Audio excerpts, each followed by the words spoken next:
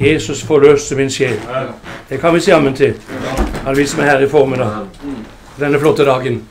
Hågetun. I all sin prakt. Halleluja. Det er Farvel, arme jord, sang Eva Brita Heiåge sang. Farvel, arme jord. Aldri du ser meg igjen. Det er jo en sannhet med litt modifikasjoner, akkurat det, da. Om, man, om, om jorda aldri skal få se oss noe mer. Den gamle tanken om at vi skal liksom rykkes til himmelen, og der skal vi være i evigheters evighet oppe i en slags himmel. Ikke bare en slags, men oppe i en himmel. Gå rundt omkring på Gullgata og stå og veive med noen palmegrener. Det er nok ikke sånn det blir. Vi skal i høyeste grad tilbake til denne jorda. Og vi skal være konger og prester som han. Vi skal styre og regjere. Prise Herren. Og han skal, eh, han skal, Det er jo delte meninger om han skal skape en helt ny himmel og en ny jord. Men, eh, men, han eh, skal i hvert fall gjøre helt om på systemene her nede. For på Noas tid, så, så den verden som da var, den forgikk i vannflommen. Men verden forgikk ikke som sådan, men systemene forgikk. Og det er godt den dagen som systemene forgår, selv om jorda som klode kanskje skal bestå. Nå skal vi ikke ta akkurat noen diskusjon om det. Den sangen er underbar. Og alle liker å synge Åge sanger, selv om de ikke likte Åge så veldig godt. Merkelig hvor populær du kan bli etter du dør. Så det er håp for noen av oss. Så er det min lodd i hvert fall enda en gang å eh, stå frem med denne gamle boka som heter Bibelen. Og det skammer meg ikke over. Jeg har ikke noen andre bøker med meg. Jeg har ingen katekismer, ingen koralbøker, ingen liturgiskrifter liggende ved sida av hvordan man skal oppføre seg. Men eh, det er den gamle boka Bibelen. Så, så jeg er glad for det. Jeg husker en gang for mange år siden jeg bare tar det med før jeg begynner å lese. Hvis du trenger litt tid på å finne profeten Jonas, så kan du begynne å blade. Litt frem og tilbake, sånn litt over midten av Bibelen og bakover. Men, men jeg husker en gang for mange år siden et sted Det var på Vestlandet. På Nordvestlandet, på en øy. Og jeg, skulle, jeg hadde kommet i skade for å døpe noen av prestens medlemmer. Og så ble det debatt om dette her. Om den dåpen, om, den, om ikke den dåpen presten hadde, var god nok. Så det ble sammenkalt til en, til en debatt. Det var stor ønske om det fra mange. Og lokalet der, menighetslokalet var fullsatt. Og en journalist fra avisa der oppe var til stede og skulle dekke dette og skrive om det. Og han skrev da veldig betegnende Han sa at Han skrev som Presten kom inn i lokalet med en hel bunke bøker på armen. Terkelsen kom med bare én bok. Ja, det var ikke så galt bare det. Så alle visste hvem den boka var. Pris Gud. Bibelen er en underbar bok. Du har jo den. Noen har huset fullt av dem. Så er spørsmålet om man leser dem. Hvert år blir det solgt i Norge ca. 90 000 bibler. Og det er jo ikke så lite bare det. Det skal noe til å slå den rekorden. På verdensbasis så blir det solgt ca. 60 millioner bibler i året. Og ifra, på de siste 200 åra så leser jeg at det er solgt eh, ca. 6 milliarder bibler i, i verden. Og Nå ble de oversatt til flere, stadig flere språk. Det er ikke så veldig mange språk som er igjen å oversette til. Sånn er det. Eh, Bibelen det er en bok som, som bevarer sin ekthet og sin glans, er det ikke det? Den bare øker, egentlig. Men Bjørnstjerne Bjørnson han skrev jo det at eh, Bibelen sa den som en diamant, den taper ikke sin glans. Den kan ikke tape sin glans. Men den tindrer med den samme glans helt inn til Herrens dag. Og hvorfor kan ikke den? Den kan ikke ripes. Diamanten kan ripe alle andre ting. Det er det håreste som fins. Så den kan lage riper i alt mulig. Men ingen kan lage riper i en diamant.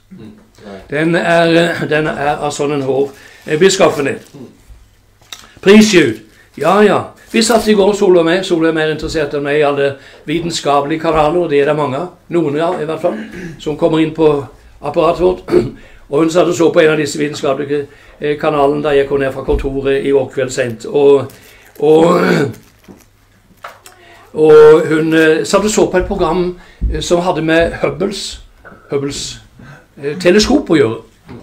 Det er jo dette fantastiske teleskopet som Ingen av oss har sånn en kikkert. Det er jo en kikkert. Men du har ikke en kikkert som er 13 meter lang, og som veier 11,5 tonn. Men det gjør også det.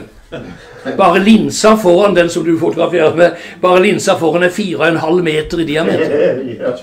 Så med dette øyet, for å si det sånn, så kan de se ting som det menneskelige øyet ikke kan se. Men som Gud har skapt. Og sånn er det veldig interessant å ha i ånden. Og det er det som jeg ønsker i min forkynnelse opp gjennom årene. Håper å ha hatt et teleskop som bringer mennesker inn i en verden som det menneskelige øyet ikke kan se. Du kan ikke med det medfødte evnene gripe det. Men det fins altså en åndelig gave som heter åpenbaringens ånd, til å trenge inn bak forhengene og inn i de store himmelrom, i det store univers. Pris Gud. Så sånn er det. Så trenger vi et mikroskop. For det er ting som er så små at ditt øye ikke kan se det. Hvis du ville ha sett alle de merkelige bakteriene som virvler rundt på deg, så måtte du ha hatt et mikroskop.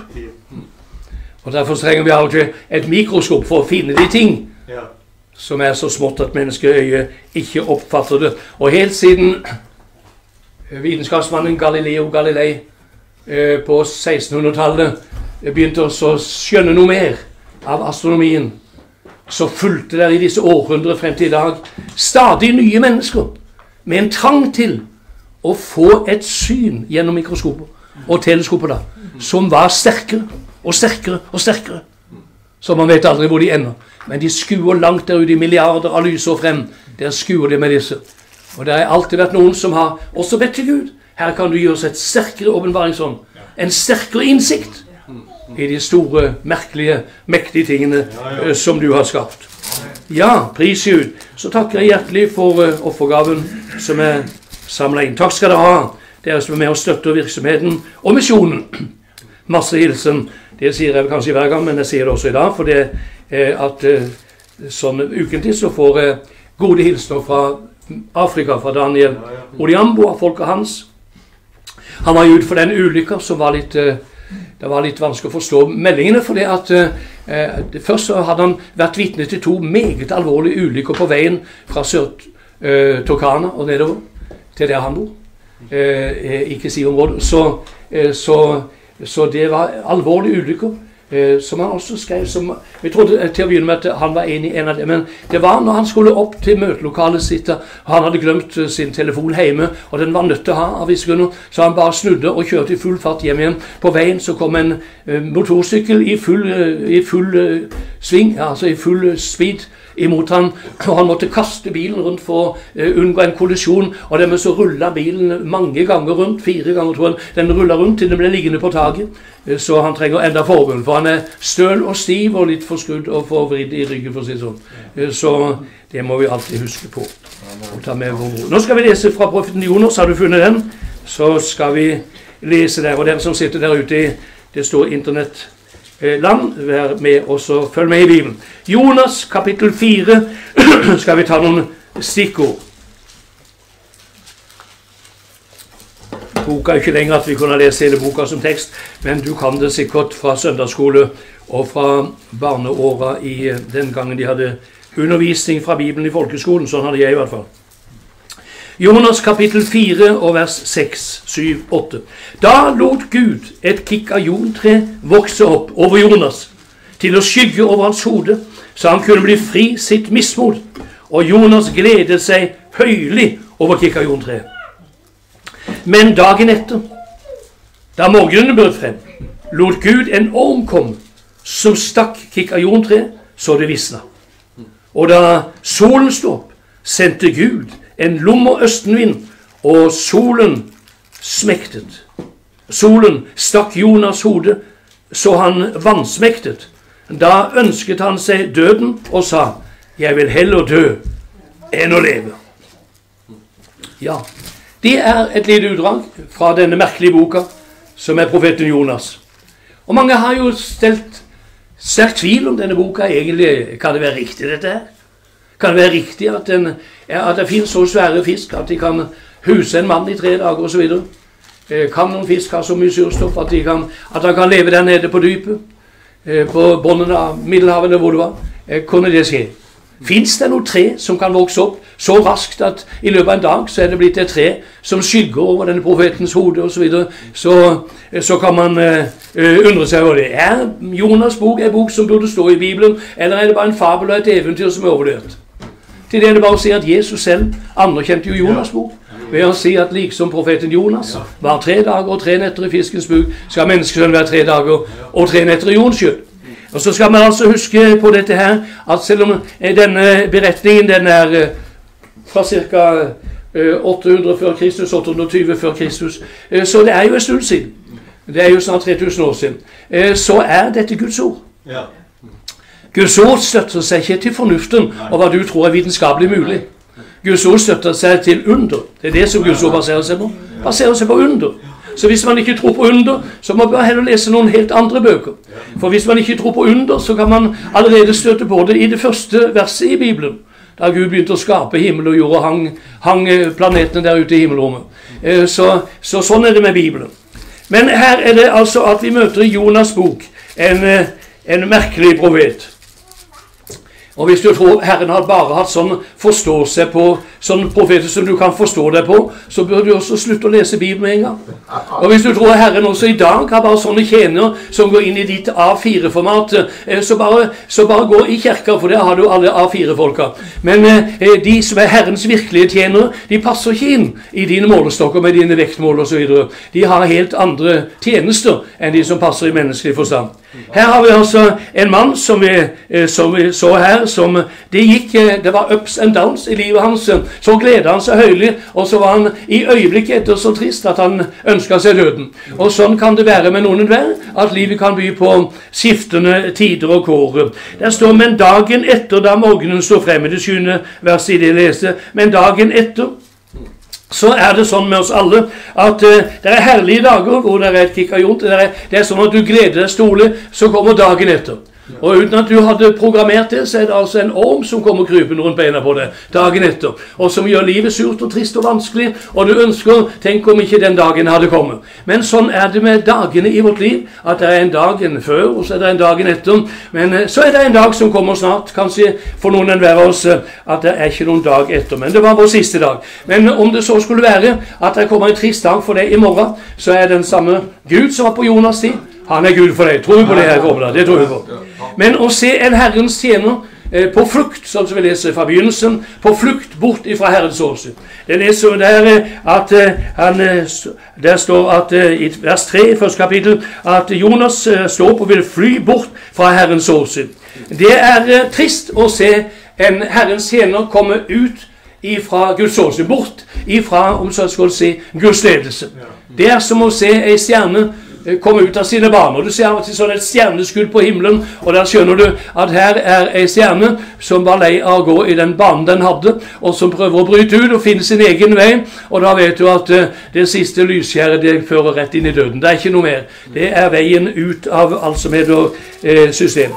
Så leser vi her i dette Jonas' bok flere steder at Gud lot Gud lot et kikajontre vokse opp. Gud lot en orm jeg leste jo i teksten Gud lot en lummer østenvind. I kapittel 1 vers 4 står det Herren sendte en sterk vind.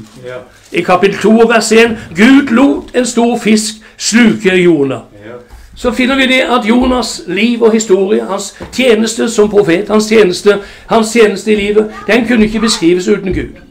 Det var Gud som var med i, i ja, i oppturen er jo Gud med, men Gud var med i nedturene. Eh, at Gud sendte ikke bare sol, eh, men han sendte regn og uvær. Eh, Gud eh, lot dype skygger falle over livet, så vel som at han lot sola skinne. Så Sånn er det vi finner at Jonas' eh, livshistorie Selv i de mest tragiske hendelsene i livet til Jonas, som, han, som alle ville si Ja, der ser vi, han hadde ikke lenger med Gud å gjøre. Gud hadde forlatt ham, Gud hadde gitt opp denne profeten. Så ser vi allikevel at Gud var med. Du ser Guds finger i det hele, og det er veldig, veldig bra.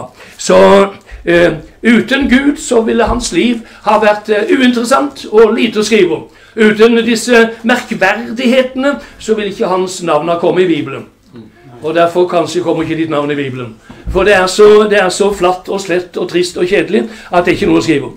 Men eh, lever man virkelig med Gud, så vil man oppleve det som Bibelen sier, at den som vil leve gudelig i denne verden, han skal bli forfulgt. Har de kalt husbonden Belsmul, Hvor meget mer er hans husfolke? Han sier i verden skal dere ha trengsel, men vær frimodig, jeg har overvunnet verden. Så sånn er eh, livet med Gud for de aller eh, fleste. Så er spørsmålet eh, for oss som sitter her på Ågetun i formiddag, er det livet med Gud som gjør livet ditt interessant?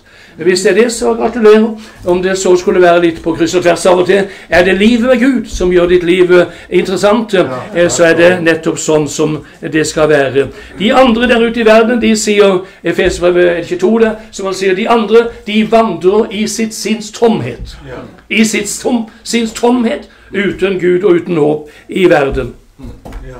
Jeg har vært inne på det siste begravelsen forleden, så er jeg inne på dette med pottemakeren og lære som er det som i Jeremias 15. Eh, som er det som ler i pottemageren sånn at eh, på pottemagerens eh, ferdige kar kan du altså se merker etter hender. Det er hender som har merka det. Det er fingermerker for disse, disse, denne lerkroka som står på skiva mens pottemakeren tråkker på pedalen så det skal svive på skiva. Så, så former hendene til pottemakeren former dette karet sånn som det skal være.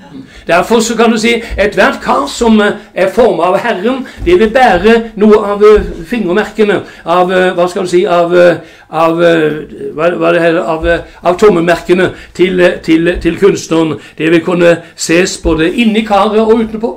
For når pottemageren former karet, så former han ikke bare på utsida, men han stikker fingeren nede i krukka og former veggene på innsida, og sånn som det skal være, ja. eh, til den hensikt som det er. I et stort hus er det kar av mange slag, ja. og han former det til det slaget som eh, du skal være. Så sier Bibelen den, det er jo en totalt håpløs eh, oppgave. Man kan nesten ikke se det for seg. at eh, Vi hørte broder Svein lese det til innledning her, at eh, vi som er utildekket åsyn skue hans uh, herlighet. Vi, vi, ble, vi skue hans utelekkes åsyn, skue hans uh, bilde. Vi ble alle forvandlet til det samme bildet. Fra herlighet til herlighet som er. Altså Han former oss for at vi skal bli likedan med hans ånds bilde. Det er jo håpløst å ta ut sånn et materiale som du som sitter her og meg. Det er jo håpløst å ta ut noe sånn og forvente å ha i sin villeste fantasi at det skulle en pottemager forme så det ble lik mesterens bilde. Men det er jo det som Bibelen sier, at vi skal likedannes med Hans sølvsbilde. Og til det å forme det, så har Herren mange forskjellige verktøy i verktøykassa si. Han har, og Noen av de som vi leste om her, det var jo bl.a. et kikajontre. Det var en, det var en steikende, en steikende sandstorm, eller sånn en ørkenvind som kom. Og det var en slange, og det var, en kika, det var et kikajontre. Det var alle disse tingene som kom over eh, Jonas, som vi leste her. Eh, denne den, de, dette livet som Herren brukte forskjellige redskaper til å forme Jonas. Så eh, det, til å forme oss så bruker han eh, ikke bare å smeke oss på kinnet, men han bruker å hudstryke. Alle disse redskapene, om det er hudstryk og pisken, eller det er eh, en kjærlig, myk eh, hånd, så bruker han det til å, å forme oss. Så eh, Kanskje hadde karet, som Jeremias ser da i sitt, uh, i sitt 18. kapittel, kanskje ville det karet vært mislykka mange ganger. For der står om karet blir mislykket som det kan gå i hans hender. I som det kan gå i. Det kan ikke bare gå én gang, men to ganger, kanskje ti ganger. Er det mislykket, så tar han det opp igjen og danner det om igjen.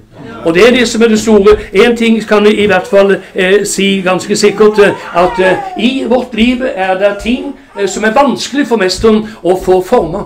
Det er klumper i leira. Det kan være en stein som har skjult seg i leira, eh, som, eh, som, må vekk for at du skal få til karet. Og disse klumpene kan være harde og mestre, men eh, mesteren han vet hvordan han skal få bukt med det. Sånn at han får forma det sånn som han vil, og bløyta det opp til han får det til en formbar masse. Én ting som i hvert fall kan si med sikkerhet, og det er mange som nok dessverre ikke ser det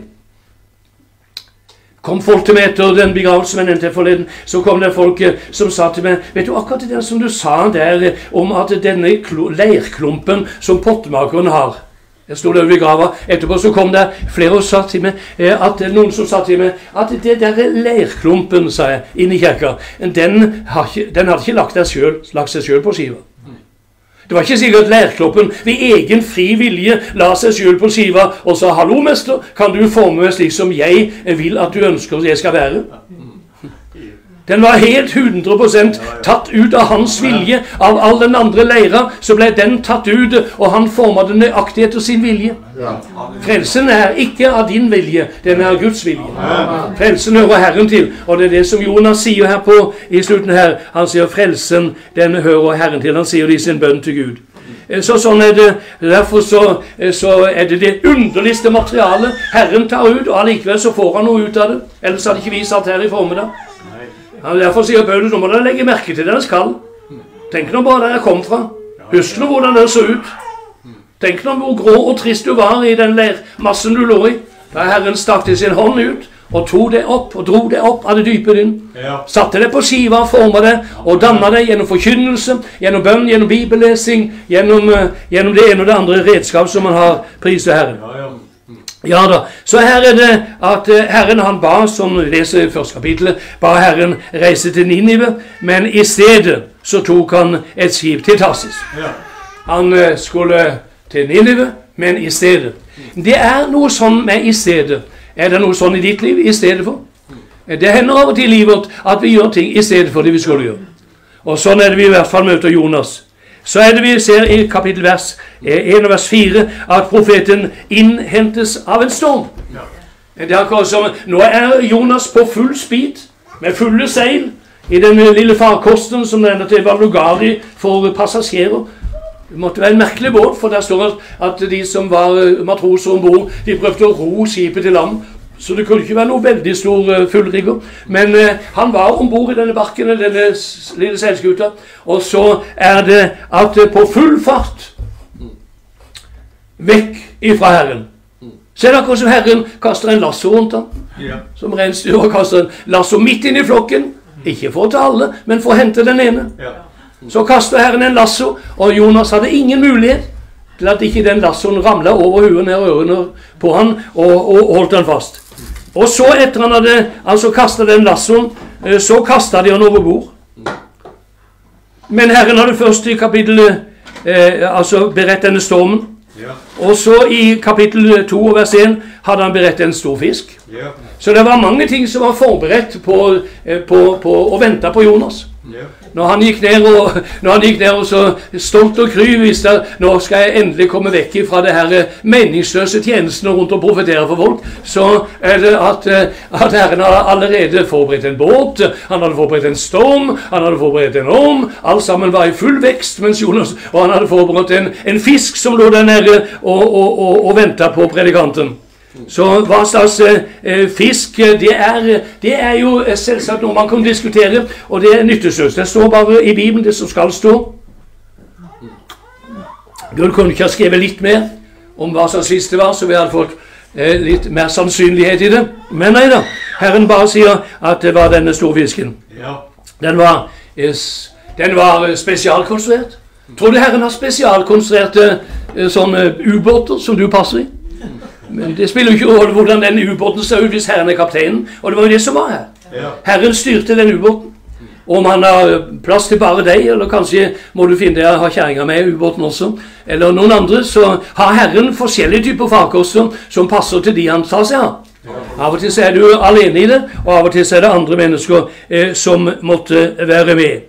Så så sier jeg, ja, men dette var en prøvelse. For en prøvelse, da! For en prøvelse for en Herrens profet og tjener. Ja, og jeg er i prøvelser, sier du. og Det sier jeg. Jeg er i prøvelser. Men la oss ikke lure på hvordan vil Herren klare å føre oss eh, gjennom prøvelser. Hvordan i vide verden skal Herren komme ut av dette? Eh, har Herren noen måter å føre en predikant ut av en fisk? At han kan gjøre andre store ting. Men det, det er ikke noe eksempel i Bibelen. Det er ikke sånn jeg kan slå opp i Bibelen og si ja, gode Gud, her sitter jeg nede en fisk, men nå slår jeg altså oppe i sjette Mosebok, eller nå står jeg oppe et sted, og her står det også om en predikant som var i en fisk. Så når så, Gud gjør ikke forskjell på. Så når du berger han ut av fisken, så kan du berge meg. Ja. Men det var ingen eksempler. Tror du at Gud kan bringe deg ut av eh, kattepine, eller ut av prøvelser som ikke du kan finne noen eksempler på? Du husker om den blindfødte mannen som du leser i Bibelen? at det, det var aldri, det, De hadde aldri hørt så lenge verden hadde stått at noen var blitt helbreda for sånn type sykdom. Eh, og sånn er det. Det er så veldig deilig å vite når du er i en prøvelse. Ja, det er andre som har gått igjennom det samme. Men så er det også stunder da som du må bare slå deg til ro med at det er visst ikke noen andre som har gått gjennom det her. Men eh, Herren vet veien gjennom den. Hvorfor vet du det? Jo, for han, eh, han sier at eh, han skal gjøre prøvelsens inngang, så du kan tåle den. Men utgangen får du sørge for sjøl. Han sier han skal gjøre prøvelsens inngang og dets utgang, så du kan tåle den. Han sier ingen kan rive deg ut av min hånd. Ja, Men prøvelsene kan vel det? Nei, ingen kan rive det. Ikke du selv engang. Ikke du selv engang kan rive det ut av Herrens hånd. Ja, men eh, hvis, jeg, eh, hvis jeg tar feil valg i livet, så er vi ute av Herrens hånd. Er, det er jo akkurat den sånne fyr jeg snakker om, som tok feil valg i livet. Men eh, han, han, var ikke ute av Herrens hånd av den grunn. Nei, vi, vi, har, vi har en altfor religiøst syn på Gud. Jeg hater dette religiøse synet på Gud. Hater dette religiøse synet på Guds nåde og alt dette her. Ja. Guds nåde er langt Den er uutgrunnelig. Den er vår usigelig. Usigelig. Halleluja.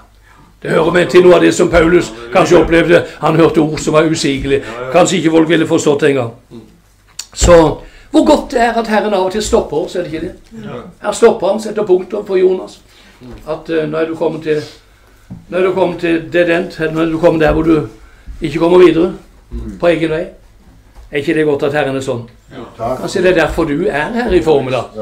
Jeg vet ikke. Det er jo bare pene, pyntelige, flotte bedehusfolk som sitter her. Her ser jo ut som her er formenn og indremisjon alle sammen. Så det, det, er jo greit. Men her har vi altså en som, som heter Jonas.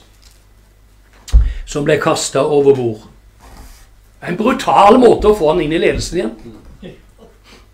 Men vi har en del mennesker iblant oss i menigheter her og der som og opp igjennom, opp igjennom i min eh, tjeneste for Herren under 60 år, så har jeg opplevd mange ganger at folk er blitt berget gjennom den mest brutale forkynnelse som jeg overhodet kunne få frem.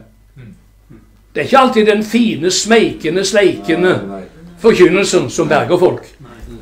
Her er det Herren, han finner frem altså eh, den mest brutale og hensynsløse kan du si, menneskesettet, og kasta han over, fikk disse folka til å kaste fyren over bord. Ja. Hvor, hvor, hvor, var han henne før de kasta han over? Han lå jo og sov, snorksov.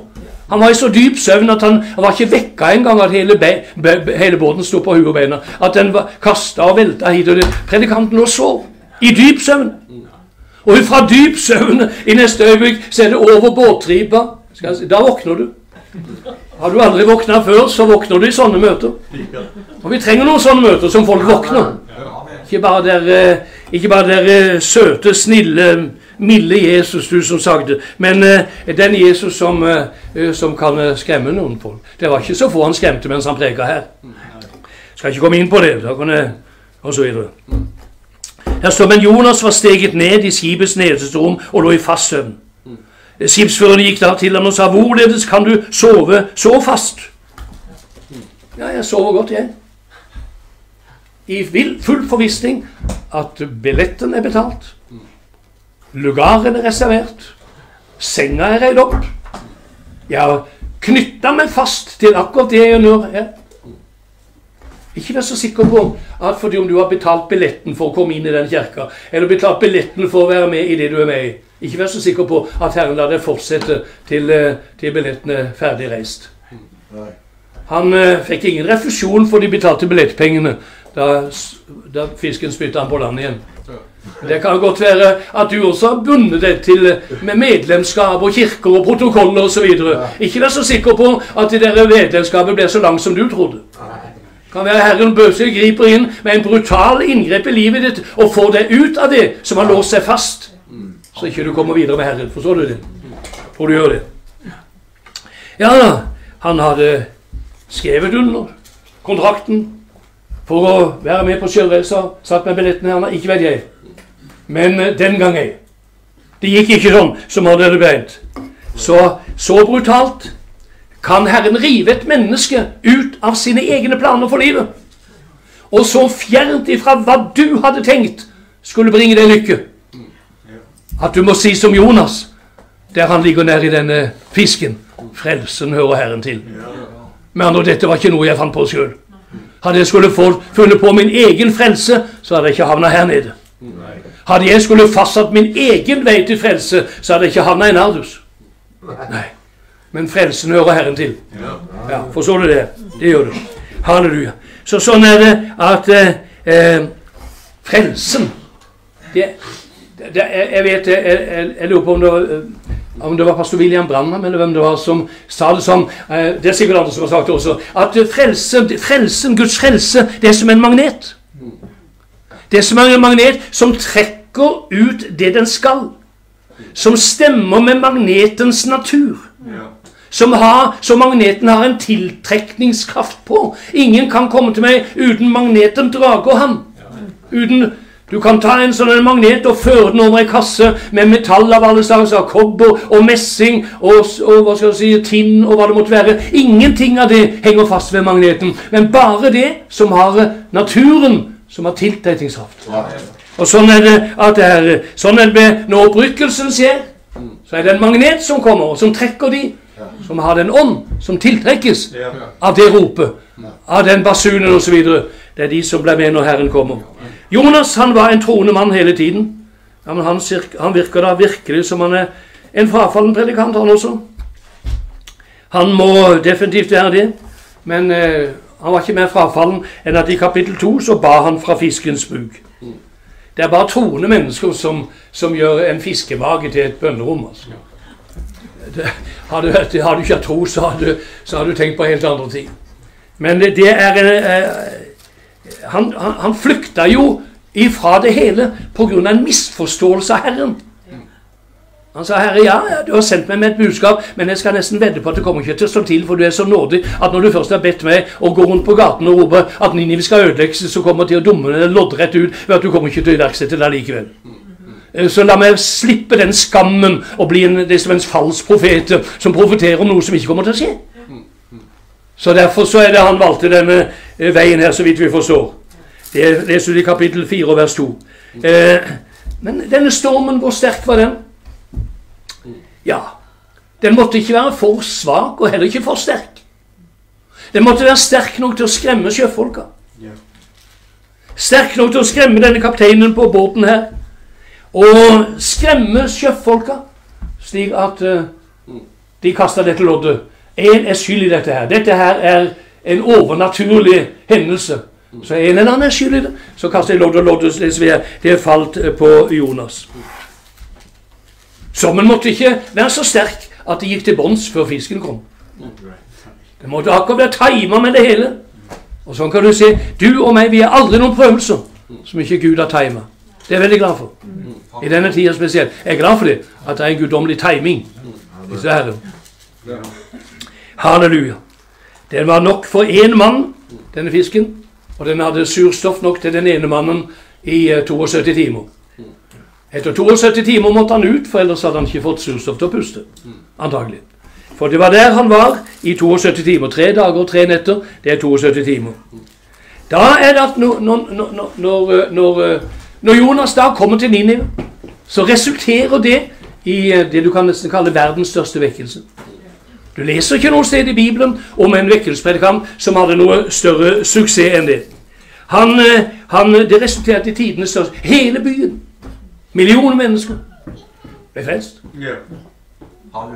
Kongehuset, regjeringa, storting Den nye storting og nye regjeringa, de ble frelst. Forstår du? En mektig, en mektig opplevelse. En mektig opplevelse. Ja. Ikke bare de, men eh, vekkelsen gikk helt inn i fjøsene. Hele befolkningen var kledd i sekk. Og ikke bare de, men eh, katter og hunder og griser og sauer og alt som måtte være. Du hørte faktisk eh, bak, eh, bak sekkestrien hørte du breking og knurring. og Du hørte mjauing og bjeffing. Jeg hørte du grynting og, og rauting. Du hørte det bak sekkestrien. Mektig vekkelse. Det er, så, det er da det begynner å bli interessant. Det er da det begynner å bli moro å være i møter når det griper om seg på den måten her. En hel by kledd i sekk og aske ropte av hele sitt hjerte og lungers fulle kraft til om omvendelse. Det var ikke klasseskille i denne vekkelsen. At Der har vi en plattform med sånn VIP-seter eh, for de spesielle VIP-personene i, i, i, ledelsen i kirken. Kongen gikk i sekk, dronninga gikk i sekk. Det hadde du aldri tenkt på når hun ble dronning, at en dag så skulle hun bytte dronningkjole med sekkekjole. Ungdommen gikk i sekk. Ja, Men vi kan ikke gå i sekk, vi er jo nødt til å følge motene, ellers så ble vi mobba. Det ble ikke, Alle var på skolen i sekk. Læreren var i sekk, og elevene var i sekk. Alt var i sekk. En mektig vekkelse. ikke sant? De berørte sammen, de berørte stoltheten til hvert menneske. Dette er ydmykende å være med i sånn et bønnemøte hvor alle må være kledd i sekk og aske. Ja. En virkelig himmelsendt vekkelse. Den er ydmykende. Dette her er tiltalende, menneskelige, moderne vekkelsene. Eh, det er ikke vekkelser fra Gud. Det er noe menneskepåfunn. Hvilket mot denne Jonas hadde da han marsjerte gate opp og gate ned. Han ropte og skreik, ropte, ropte og ropte. Om 40 dager skal Nineve ødelegges. Ja. Men så er det at det tok en vending som Jonas ikke hadde regna med. Gud var ikke så streng som han ønska Gud skulle være. Gud var faktisk for barmhjertig. Han, eh, han, eh, han, han, Vekkelsen fikk andre former enn de han hadde beregna. Han ville ha dom. Jonas ville ha dom, og Gud ville ha frelse. Det er jo akkurat her det står av og til. Man møter jo det på sin vei. Jeg vil være lik Jesus og dundre løs. Dere farisere, dere hyklere, dere kalka graver, dere årmingel. Men det er ikke det som er det særprega med Jesus. Det er ikke det det står mest om. Der sa han så da folk og ynkes over dem. For de var ille medførende som får som ikke har hørt det. Ja, Men nå må du vel være irritert når Pontius og Herodus og, og Annas og Kaifas og hele bølingen de er imot deg, og de lyver, og alle vitner lyver på det. Fader, forlat dem. Fader, forlat dem. Den ånden der, den er ikke så lett å få tak i. Nei. Det å rope etter hevn, det ligger nærmere. Paulus skrev til filipperne, så skrev han er det noe trøst i Kristus. Er det noe kjærlighetens usvarelse? Er det noe medfølelse? Er det noe barmhjertighet? Da gjør min glede fullkommen i det dere har det samme sinn. Det er det som Herren leter etter oss, er det ikke det? Ikke denne ubarmhjertige, dømmende, fordømmende holdningen hvor det ikke fins barmhjertighet, medfølelse, ingen rettferdighet. Men her er det at eh, Jonas han, eh, han, han, han syns at nå går det eh, litt for vidt. Du, Visst skal vi tale om at Babylon skal brenne. Visst skal vi tale om hvem har talt mer om Babylon skal brenne, over Guds dom over Laudikea og Babel. Det har jeg talt om. Ja. Talt så mye om det at jeg syns så kalte det med Babylon. Husker du det? Nå er nok det 50 år siden. Men husker du? Men i hvert fall I hvert fall Om jeg taler imot Babylon, så har jeg full Bibels rett til det. Men jeg må ikke utelukke den andre setningen. Kom ut ifra henne, dere mitt folk. Kom ut ifra henne, dere mitt folk. Det er et folk som er det, som Herren vil ha ut. Så vi kan ikke bare fordømme hele Babylon amas. Men vi må strekke kjærlighetens hånd inntil de som er der, som han sier komme ut fra dem. Vet du hva sier Paulus når han taler om jødefolket og jødefolkets opposisjon imot Jesus? Så sier han jeg vil ønske meg selv forbannet bort fra Kristus hvis bare mine brødre i jødene kunne bli frelst. Ja, det er sterkt. Da Moses fikk høre Herren, kvitt deg med dette folket, bare forlat dem, ta de pikkpakk og reis, og dra alene til Israels land, og ikke bry deg med de andre, la de dø i ørkenen. Da er det Moses han er veldig eh, Han sier 'Hvis det er slik, da slett mitt navn av din bok'. Hvis du forkaster hele dette folket, selv om de har syndet, så må du også slette mitt navn av din bok. Det er det som er virkelig Bibels kjærlighet. Så står det her, det var der jeg begynte å lese, Gud lot det vokse opp et kikajontre. Eh, ja vel, da var vel Jonas en skikkelig flott predikant, da. Siden Gud spanderte sånn en velsignelse på fyren. At han lot det vokse opp midt i ørkensola, mens sola sto rett over huet på han og hadde gitt han solstikk. Hvis det hadde vært så. Så lot han det vokse opp et kikajontre. Men det kikajontreet lot Gud vokse opp over Jonas mens Jonas var sint både på Herren og på mennesker. Han var så sint og rasende både på Herren og på mennesker. Allikevel så viste Gud nåde imot denne fyren. Han gikk med selvmordstanker. Jeg heller dø. Allikevel så lå Gud også. Kan du se han for deg i den lille løvhytta som han satt der? Og som, som Gud lagde denne parasollen over huet på ham for å verne ham imot eh, en pinefull død i ørkensola. Det, så Han sier her eh, at Gud lagde det så han kunne bli fri sitt mismot. Har Gud noe medynk med mismodige predikanter? Og mismodige nardusvenner? og andre kristne? Har Gud noe medynk med dem? Han har i hvert fall medynk med Jonas, som var så mismodig at han enda var mismodig både på Gud og alle rundt om. Han hadde medynk med dem. Han, han, han, bygde den for at han, han satte det kajontreet for at han kunne bli fri sitt mismod. Ja. Hvem i dag hvem vil da ha medynk med noen mismodig predikant? Hvem vil ofre ei krone til en predikant som ikke er alltid 100% vellykka i sine kampanjer? Som er så vellykka at han, han, kan ha egne hangarer for alle sine jetfly, og han kan ha egne milliarder eller millioner, hundre millioner bygninger og feriehus verden over. Hvem, hvem er det som, hvem er som med, medynk med en som ligger og tråkker ned og flater ut? Ingen som har medynk med noe sånt. Ingen vil gi ei krone sånn. Guds kjærlighet, den går, går ikke den over all forstand? Amen. Ufattelig. Guds lov, det er noe ufattelig. Vi må bare be Gud om å få noe mer av den ufattelige nåden. Den ulogiske nåden, for å si det sånn. Ja. Så står det at Jonas gleder seg høylig.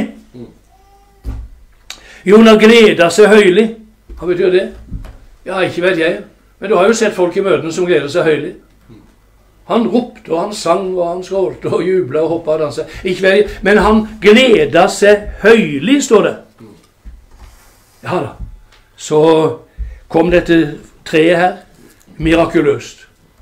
Og den kom akkurat den hjelpen han trengte. Akkurat han trengte den. Som vi også kunne regne med. Jeg leser jo ikke her fra Jonas' bok for å lese som om jeg hadde lest fra H.C. Andersens eventyrbøker. Eller Esops fabler. Jeg leser ut fra det at alt dette er gitt til rettevisning for oss. Til å vise oss hvordan Gud tenker og handler med, med sitt folk og det han elsker. Du vet, Jonas han skriver jo senere ned dette. Han skriver, han lot dette kikajontreet vokse opp, så han kunne bli fri sitt mismot. Er det noen predikanter som vil erkjenne at jeg var Jeg er mismodig? Vil man erkjenne sin egentlige stilling? Skal man ikke alltid gå rundt som sånn en smiling face? Men her er det Jonas han erkjenner innenfor Gud og mennesker at han var mismodig. Og det er sånne stunder eh, han eh, Tør vi erkjenne at vi av og til har et nedslått mot? Som Paulus sier, at eh, han eh, var nedslått, men ikke tilintetgjort så ble man slått over hvor lite som skulle til for å få en troende, en predikant, en profet, ut av sitt mismot. Det skulle ikke mye til. Så det skulle bare en liten plante til. Mm. Kanskje vi burde se noe mer eh, verdi i planter, vi også. Kjøpe en liten plante til noen av og til. Kom og sett en liten plante på kjøkkenbordet eller stuebordet. For det er jo det som der står her. Ikke bare en plante, men et smil, et vennlig ord, et oppmuntrende ord. Jeg, jeg ba til Gud i dag, jeg fikk et ord til det, osv. Så sånn som jeg av og til får. Hvor dyrebart det er. Ja. Det var bare den ene tingen. At Guds velsignelse over Jonas fikk han ikke til å forandre sin innstilling. Han var like så fortørna på den forbanna byen og de folka der. Han var like så fortørna. Og han, eh, han, eh, han, han eh, Derfor så måtte Gud fjerne hele kikajontreet. Kanskje Gud velsigner deg for at du skal komme på bedre tanker. Men hvis du ikke kommer på bedre tanker, så kan det jo være Herren bare fjerne velsignelsen for at du skal kunne innse At du kan ikke overøses med Guds velsignelse og så gå rundt sur som ei eddikskrukke. Det er mange ting her som du kan reflektere over. Ja, Så derfor Derfor måtte Gud fjerne dette. Så er spørsmålet til meg og til deg her i formiddag Har Guds velsignelse endra noe på livet ditt? Eller misliker du de samme folka enda? Baktaler du de samme folka enda? Har du et ondt øye fremdeles? Så vær litt på vakt. Det kan være at du mister det som du er avhengig av, av velsignelse. At Herren må føre det inn i en tukt for at du skal få del i Hans hellighet. Dagen etter, står det, så lot Gud en orm. Ja. Så lot Gud en orm. Det var da merkelig Gud. Det er ikke min Gud. Vi har det, for, sier vi, Jeg har en kusine som alltid sa 'Min Gud er ikke sånn som din Gud'. Min Gud er ikke sånn. Nei, men min Gud er ikke min Gud, det er Bibelens Gud. Og her finner vi Bibelens Gud som lot en orm. Nettopp de trengsler hvor du gruer er kanskje velsignelse omkledt Det er jo en sang som vi synger. Så det er jo av og til at det, det bare, bare, bare skjer som at Gud er skjult i en orm. Ja, Det var kanskje sterkt sagt, men du forstår hva jeg mener. At bak den ormen sto der en Guds ledelse. For første gang i livet var ormen ledet av Gud. Så den gjorde det som Gud ville. Ja. Av og til så kan man undre seg hvor lite det skal til å få oss ut av balanse. Som det står her at uh, han, uh, han, han At han var sørgmodig, mismodig. mismod. Hvor lite det skal til å få sett gamle, dyrkdeve troende som har lest Bibelen igjen og igjen og kan halve Bibelen uten at det skal så lite til. Du har trukket 100 mannakorn, og, og du jubler og høylytt og glad er du til sinns. Så skal det være litt uventa regning. Eller at kjerringa mannen sto på de gale beina om morgenen. Så er du ute av velsignelsen. Ute av velsignelsen. Et litt uvennlig ord, en liten krangel om noen filleting så er man ute av det. Ja, jeg var så Jeg la meg så Og jeg hadde sånne planer. Så når jeg våkna opp, så var det jo regnvær. Skal ikke noe mer Skal ikke noe mer til. Den lille ormen som kommer krypende, kan være ei regnbue eller et eller annet uh, som gjør livet plutselig så uh, Det er ikke det er ikke sikkert at Jonah for seg, Det står ikke allting i Bibelen skrevet ned. Det er ikke sikkert at Jonah engang så denne her ormen. Så har du fått en velsignelse av Gud, et kikkajontre, så pass på det. Det er ikke sikkert du ser den ormen som holder på å ta livet av din velsignelse. Det er ikke sikkert du ser den. Så vi trenger å be til Gud om eh, nåde til å eh, vokte, vokte det treet. Ikke tillat sjalusi. Ikke tillat at din tunge blir brukt til sladder, til onde rykter, til vanære. Ikke tillat det. Nei. Ikke tillat den å komme krypende. Vet du, Det er noen mennesker som faktisk tror Det er noen mennesker som tror at Guds velsignelse over livet er noe uangripelig. Det er ikke det. Guds velsignelse er ikke noe uangripelig. Det er noe som følger betingelser med. Ja, ja. Offer Gud takksigelse, betal den høyeste du har lovt, og kall på meg på nødens dag, så skal jeg utfri deg. Ja. Mm. Altså fullt av løfter, velsignelser, som er knytta til betingelser. Ja. Men allikevel så La oss leve sånn, bror og søster, at vi ikke mister troen om en liten sleve kommer krypende. Om en liten orm kommer krypende. Om ting omskiftes i livet. Vi mister et kikajontre for en dag, en måned, et halvt år eller et år. Så mista vi det der. Ikke la oss vippe pinnen av den grunn. Gud har ikke mista kontrollen for det. Nei da. La oss si som jobb. Herren gav. Halleluja. Men Herren tok. Amen. Herren gav, Herren tok. Herrens navn være lovet. I alle fall. Eller som Paulus. Hvilken predikant ønsker ikke å leve i overflod? Det kan eh, det er folk her inne i salen som kan bevitne at mitt predikantliv har i hvert fall ikke vært et sammenhengende liv i overflod. Det var et sammenhengende år etter år med å, det motsatte. Men Paulus sier 'jeg vet hva det vil si å leve i overflod'. Og da jeg vet hva det vil si å lide trang. Og når jeg lider trang, da mister jeg mot. Han sa ikke det. Han sa jeg både har overflod og lite trang, så jeg har lært å leve innvidd. Det ligger en hemmelighet i det. Jeg har lært å leve innvidd. Ja da, takk og lovpris. Så Jonas han så Paulus han så ikke på det som uh, en katastrofe nedslått, men ikke til tilintetgjort. Han så Ok, nå er jeg slått så ned i mm, fillene at jeg er bura inne i fengsler osv. både her og der. Jeg er under Cæsars fullkontroll. Jeg er lenka fast. Men dette er ikke noe fengsel. Jeg er ikke noe fengsel. Jeg, Paulus si. jeg er i en forfatterstue. Hadde vært på Nørholmen og sett Hamsuns forfatterstue oppi lia der? Der satt han og skrev disse romanene sine. Så Paulus sa nå har Gud gitt meg en ypperlig anledning til å skrive. Halleluja. Tor Johannes på Patmos tenkte at nå er det slutt på livet. Her begynner den mest interessante delen av livet mitt. En sammenhengende åpenbaring av sju menighetstider. trengselstider, den lille og den store trengsel, og tusenårsriket, og, og, og, den evige himmel osv. Og, og den nye, nye himmelen. Alt dette, det så han der. Ja. Så står det her eh, om jordas Gud, send, Gud sendte en lom og østenvind. Altså ikke noen, ikke noen deilig sånn som, som vi syns er så deilig når det kommer noen, noen eh, milde vindkast. Men dette var en skikkelig sånn eh, ramsin vind. Og så leser vi altså først kom ormen. For en, en, en ulykke kommer sjelden alene. Har du opplevd det noen gang? Så har du fått en ulykke, så kan du liksom bare stå ganske rolig og se hva, hva, hva kommer etter. For først kom en orm. Så kom ørkenvinden, så, som åpna selve ovnsdøra.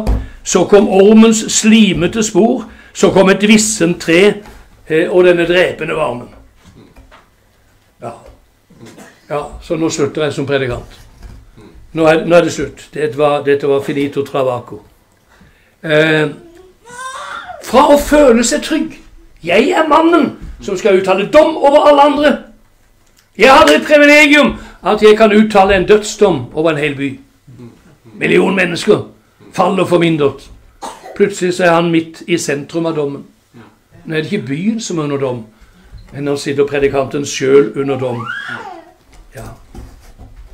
Fra å ha orkesterplass som tilskuer til henrettelsen av en million. Han hadde satt seg på orkesterplass som tilskuer. Så er han plutselig midt i sentrum av elendigheten sjøl. Han sitter midt i det at han ønsker seg døden. Bibelen sier her i vår bibel at han vansmekta. Vet ikke hva det står i din bibel. At han vansmekta. Det står, eh, det står, i det, står her eh, der står det, i det åttende verset, der solen står opp, sendte Gud en lommer østenvind, og solen stakk Jonas i hodet, så han vansmekta. Han ønska seg døden, gi hele heller og leve. Han vansmekta. Den engelske bibelen står der han besvimte. Og jeg slår opp i, i Strongs på dette ordet. Jeg slår alltid opp i andre bibler for å se hva står det der og der. Og Strong sier eh, at det, der står at han besvimte. Ikke verst. Han ønsker ikke å våkne igjen av besvimelsen, han ønsker jo å dø. Det er jo det vi leser her. For det Hebreerbrevet 12 sier all tukt synes vel den som står på, ikke å være til nytte, ikke å være til gang, men, men den gir den som derved ble oppøvd, rettferdighets salige frukt. Jeg skal si amen. Ja, så syns ikke å være til nytte. Jonas så ikke noe nytte i ormen, ikke noe nytte i et visna kikajontre, ikke noe nytte i stormen, ikke noe nytte å bli kasta på huet over bord, ikke noe nytte i noe av dette. Han så ikke noe nytte i noe av det. Men Gud så en nytte i det. Gud så en nytte i det. Ja. Så eh, Det er bare prøvelser iverksatt av Gud som har noe nytte. Ikke tro at når djevelen prøver å ta tak i det og filleriste det og ta mot fra det, at, eh, at, det er sånn det skal være. Men kjenn, lær å kjenne Gud i dette Lær å kjenne Gud i disse forskjellige hendelsene som vi leser her. Ja. Det er bare når Gud holder i riset, at det er noe opptuktelse i det. Ja. Det er det som Bibelen taler om. Jeg skal ikke komme inn på noe på det. Men eh, Gud, han må overvåke oss, både i glede og i sorg.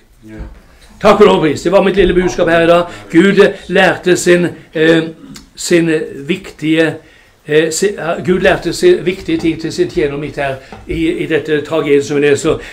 Kan du se for deg en besvimt, selvopptatt predikant som åndelig sett hever seg over en million andre på stående fot?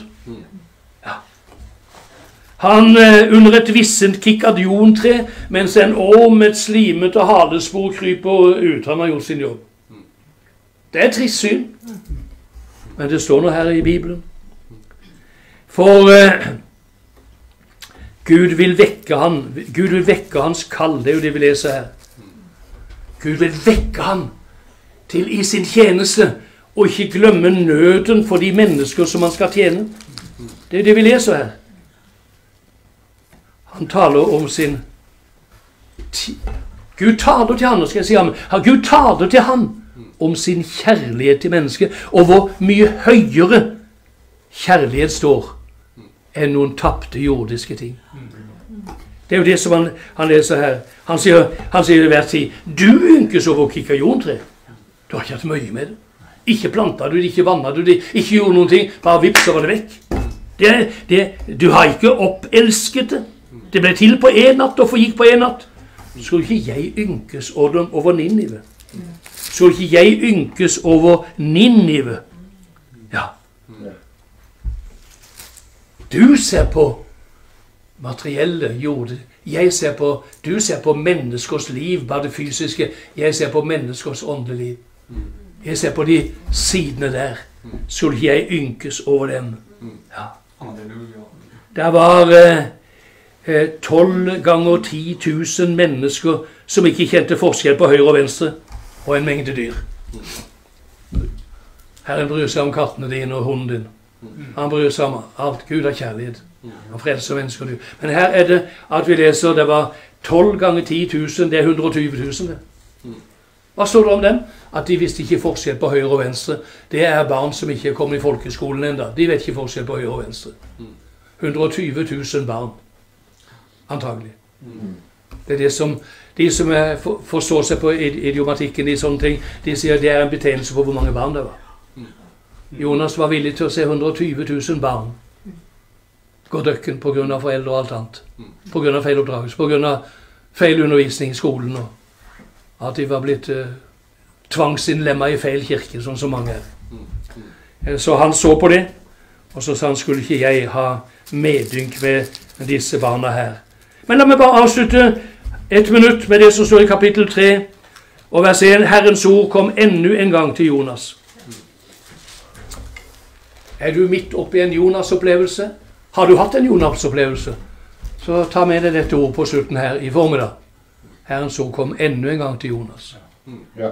Han gir deg ikke opp. Han gir deg ikke opp der du ligger besvimt under et visna kikajontre, og en slimete slange kryper vekk fra deg.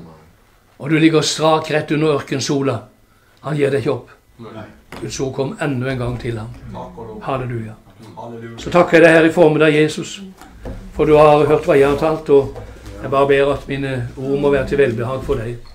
For vi er ikke for mennesker vi tjener, men for deg. Her så er vi i en alvorlig situasjon. Vi er mennesker på lik linje med Jonas. Akkurat som Elias var en mann under samme vilkår som oss, så var også Jonas. Han sto overfor de tingene, og han valgte feil. Men til syvende og sist så vendte du det store nederlaget til velsignelse. Og han eh, gikk tilbake. Jeg priser deg for det, Jesus. Halleluja. Takker deg for det, Jesus, at du ser til mennesker som er her i formiddag. Du ser til mitt liv, og du ser til oss alle. Og du vet at eh, vi lever i en verden som eh, er omgitt av mørke og åndsmakter og alle mulige ting. Og Satan han vil slå vårt mot ned. Men her så er du her. Og det som jeg ber deg om, at den enkle teksten som jeg minner folk om her, at den må bli til oppmuntring for noen. At du har en vei gjennom det største mørket i Jesu navn. Amen.